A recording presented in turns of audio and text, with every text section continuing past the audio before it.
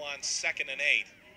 And he throws over the middle. It's caught into the end zone. Touchdown. Owen Rockett dives in, and the sophomore has his third score of the year.